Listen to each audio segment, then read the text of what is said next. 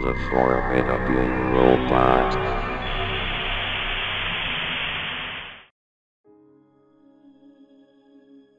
Minutes have passed after the first part happened, but then this happened.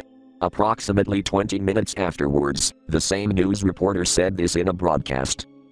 Breaking news. There were reports of eyewitnesses of mysterious creatures running across the neighborhood. Eyewitnesses claimed they resembled characters from the children's animated television series, known as Arthur, except they had red glowing eyes, and sharp bloody teeth.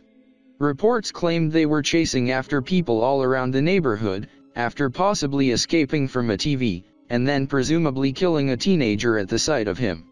They later started rampaging around the neighborhood, attacking some people and even mauling and killing them.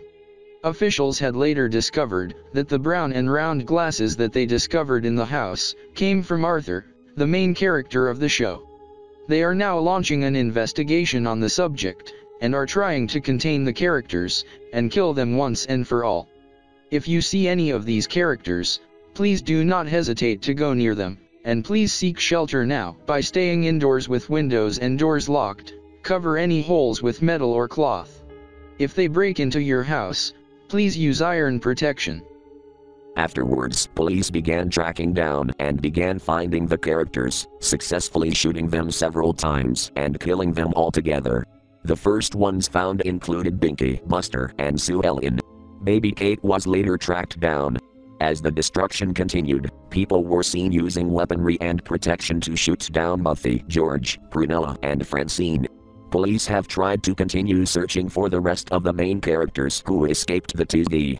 The news reporter then said this. The body of the teen, who was formerly presumed to be dead, was discovered by officials, and he is confirmed to be alive right now, with long-lasting injuries. The ambulance is already arriving to take him to the hospital immediately. We even see some glass shards on him from the shattered TV that no longer worked. The TV appeared to be an LG TV, carrying a TiVo DVR system, and a TiVo remote that can access movies and TV shows. He was last seen watching the TV shows, The Simpsons and Family Guy. We have also managed to detect the mysterious creatures that resembled the Brain and George, and tracked them down to kill them all together. The officials are still trying to track Arthur down as we speak. By this point, I was sent to the hospital and they had to perform surgeries and amputations on me. When the police tracked Arthur down, he said, Come here, you little freaking aardvark. But Arthur said in his demonic voice, What do you want from me? The police officer then said, You deserve to be gone for what you did to several innocent people. The police officer then began pointing his gun right at Arthur and then he shot him down altogether. Once Arthur is now dead, he took his body to the lake and threw it in the waters. By now we had tracked down all the Arthur characters. We threw them in the neighborhood's lake. The official death toll as of today is 15, not counting the Arthur characters.